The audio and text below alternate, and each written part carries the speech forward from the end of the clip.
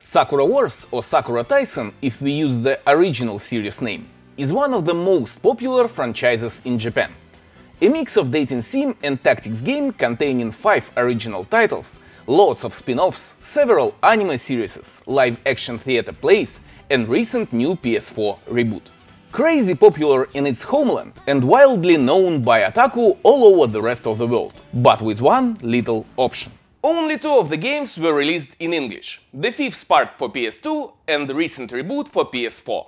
And all the other games still stay Japanese exclusives, as well as theatrical performances. And only guys at Sega know why. And even if we'll talk about fan translations, thing that made a lot of great games playable for those who don't speak Japanese, there was no English translations of any Sakura Wars game till 2019, when guys from SakuraTranslation.com made a huge gift to all Japanese games fans in general and Sakura Wars fans in particular worldwide, and released a fan translation of the very first game in the series, original Sakura Wars for Sega Saturn.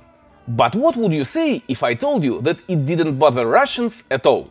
And not because there are no otaku in Russia. There are plenty of them. The reason is we had not only original Sakura Wars in Russia already in 2006, but even Sakura Wars 2 in 2008. Both for PC only, but who cares? Two Japanese exclusive hit games never released anywhere in the West had an official release in the country, where most of the video games were always bootleg. Can you imagine that? Hello YouTube, my name is Victor and you are watching the Russian Video Game Comrade Show. Today it's time for some Japanese video game stories from Russia. Looking back now, it was really a unique case. We had several bootleg translated games from Japanese on PS1, but I've already shown you the quality of these translations. There were some exceptions, but I can't really say that we had at least one really good exclusively translated Japanese game that no one else around the world had. The most close example was R question mark MJ The Mystery Hospital for PS1. This game was a Japanese exclusive horror adventure game, and in the end of the 90s, Resident Evil and Silent Hill made horror games really huge in Russia. So everyone in the video game business wanted to release something at least vaguely resembling these games. And Russian pirate studio RGR translated The Mystery Hospital to Russian. And at the first sight, it seems that this is a really good translation, all the menus, splash screens and in-game items are in Russian. And this is not jibba-jabba like in Enigma, this is really good text. But there is one little thing. When anyone in the game starts to talk, all the subtitles say only speech. Thank you, I didn't realize someone was talking before you told me. But what are they talking about? The cover of the game says, all the text and sound is translated. Liars! And yes, you can complete the game, but you'll understand nothing about its story. And you know, they really tried to fix it. When you start the game, there is an option to read text translation of the plot, some hints, and even the full walkthrough of the game. And it's really an outstanding example of bootleg translation for Russia, especially considering this game is a Japanese exclusive and doesn't have an English version. Sorry for this little detour. So, in the Russian video game history, there aren't a lot of games translated from Japanese.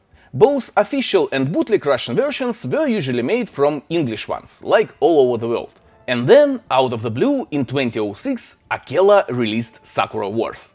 A very popular Japanese game not available in any language except Japanese. And it wasn't a bootleg release. They really bought a license to release four main games from Sega. They say that Russian studio that made their way to the licensed market from the depths of pirated PC game releases. Remember I told you about the first really great Russian dubbed bootleg translations in episode 1 of RVGC. Most of these were made by Akella in their early bootleg years. Decided to release an out-of-ordinary for Russian market Japanese visual novel slash tactics game after the good reception of Hentai Games, their subsidiary Matcha Studio, released in Russia several years earlier. I wonder if any Russian video game release that time didn't depend on earlier success of some erotic game. Anyway, in November 2006 Russian Sakura Wars was released, and I even have an original Akella CD in my collection. I got into Sakura Wars myself much later, you can even say just recently, but I already have some games and stuff on it. For example, check this out. We even had a licensed MPEG-4 release of Sakura Wars movie back in the day. And as I know, it's quite hard to find Akella's releases of Sakura Wars now, so I'm glad I at least have the first part. There are a lot of questions to the Russian version of the first Sakura Wars game. but the most recent is copy protection. Game was protected with early version of the infamous Russian copy protection system StarForce. I'm not really sure if you guys aboard familiar with it, but when I made the research for this video, I found information that you may be, as several games from Ubisoft were protected with it. StarForce was somewhat like modern Denuvo protection. On the one hand, it was really hard to crack. For example, PC version of Splinter Cell Chaos Theory with StarForce 3.0 protection stayed uncracked for as long as 422 days. But on the other hand, it had similar problems Denuvo has. It slowed down your PC, caused crashes, and some people say it could even damage your optical drive. Plus, it installed its own device drivers onto your system and didn't uninstall them, even when you uninstalled the game. So, once you've played something with StarForce protection, your PC continued to be slowed down until you reinstall Windows. Magnificent! In 2006, there was even a lawsuit against Ubisoft for using StarForce in their games. However, the case was dropped two years later due to lack of evidence. But it seems that this lawsuit was at least partly legit, as starting in 2006, new Ubisoft's games start using SecuROM instead of StarForce. But not in Russian games. In Russia, StarForce protection lived long and continued to cause troubles for gamers for quite a long time. And the funniest thing, that in Russia all these problems gamers had not because they preferred bootleg games over licensed ones, but because pirates continued to steal intellectual property regardless of all the efforts publishers made. As you can recall from one of the previous RVGC episodes on Russian point-and-click games, official jewel case releases for PC in Russia cost almost the same as bootleg CDs. So there was almost no difference for gamers if they bought a licensed game or a bootleg one. Internet in Russia wasn't so fast back then as it is now, so you couldn't download gigabytes of pirated stuff from web, you had to buy your games anyway. But a lot of time since 1998 had already passed, and mass production of bootleg CDs became a lot cheaper, and Buka's idea of making their Red Comrades game as cheap as pirates could make more money distributing the original game than copying it didn't work anymore, and companies had to use copy protection. This is the reason you can't run Russian Sakura Wars games on modern systems unless you have an OCD patch. So I have to use an old PC to capture gameplay from the original CD for this episode. So now we have all that needed to play the game. Let's talk a little about its translation. They didn't have a full-time person to translate Japanese in Akella, so they just hired a freelancer. And that person wasn't good. Not only he hadn't passion for video games and knowledge of the subject, it appears he also was just a lazy person. At first it seems the translation of the game is quite good. They even added subtitles for video segments and translated the opening song. But every new chapter, translation became worse and worse. Sometimes it even seems that part of the text was translated in old school bootleg way, with the early machine translation. For example, just take a look at this screenshot. Line reads, She has beautiful brown eyes. But Maria's eyes are green for God's sake! Can't you see it? Needless to say, most of the jokes and underlined text were also lost in translation. I understand that this translation is bad, and the person who got money for this job got it in unfair way. But to be honest, considering it was the only non-Japanese version of this game, and we could play it and understand the plot long before all the other world, it's just priceless. I'm playing Sakura Wars 3 in Japanese with an online translator now, and it's also as brief as it can be, but the fact I can play this game and understand it is really astonishing. Oh my god, I love technical progress so much! Release of the second Sakura Wars in Russia was delayed for two years, this time, Akella wanted to find the man who can make the translation really good. Or at least find an editor who can edit translated text to make it accurate. And they found one. His name was Dmitry, and I found an interesting interview with him from 2012, where he told a lot of interesting stuff about Russian Sakura Wars releases. He says that there were two translators in Akella who worked on Sakura Wars 2, and one of them really made an awful machine-like translation. So when he got the job, he realized that at least half of the work on translation had to be done in U from the start. He also says that Sega didn't help Akella with game resource unpacking, and Akella's programmers had almost to reverse engineer the games. It's a great luck they've done this before a lot of times when Akella released their first bootleg translations. He also says that heads of Akella didn't intend to translate in-game videos and make subtitles, so the guys had to do it themselves, free of charge, and then literally beg the bosses to include this in the game. I wonder how it was done in the first part, if it was translated by the other guys who seemed not to be interested in the result of their work. As I said in the beginning, it's known that Akella bought the rights to translate and distribute not only the first two games, but all four Japanese exclusive ones. And as Dmitry says, the third game of the series, Is Paris Burning, was also fully translated. But then Akella cancelled release plans for third and fourth parts. They say it was caused by financial problems, and it seems to be right, as in 2012 Akella went bankrupt.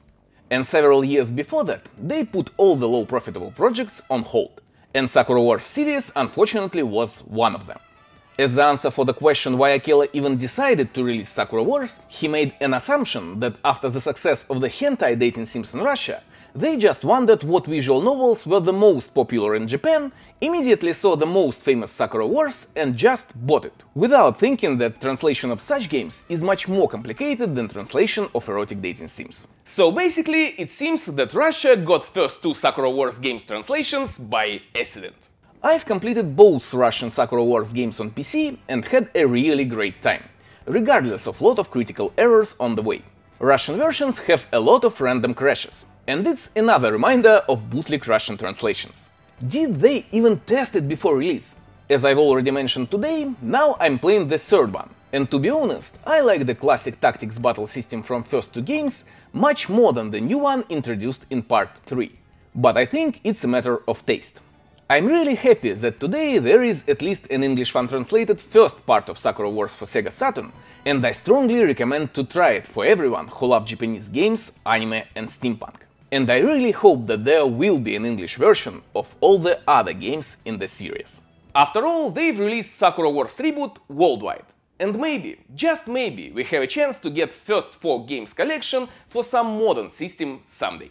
I don't even ask for a lot of spin-offs translation, just the original games at least. By the way, there was a recent English fan translation release of one of the spin-offs, Sakura Wars Columns 2 for Dreamcast.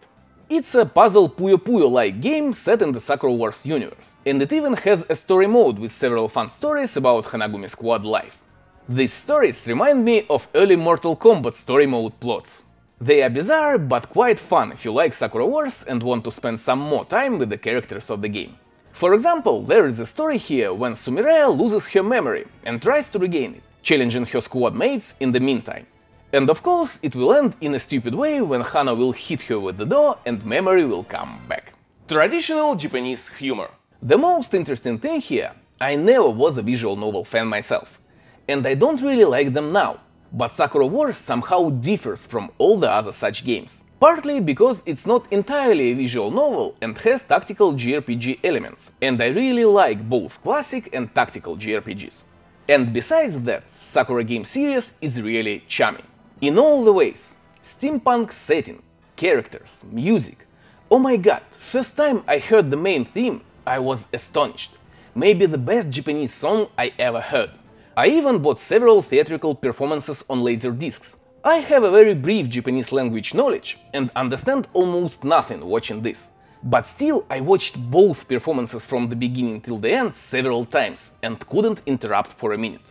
Unfortunately, there are no subtitles for this, so there are no options except learning the language. And I really hope I can someday overcome laziness, continue to learn Japanese, and one day watch it one more time and understand it. I really want to. This was the story of an outstanding Russian translation of the Japanese exclusive no one else around the world got. And I still have a lot more stories regarding interesting video game things from Russia, and will tell them in further episodes. Stay tuned! I really hope you've liked today's episode and willing to see more. Please press thumbs up, subscribe to the channel and I'll see you next time. Have a nice day, good luck!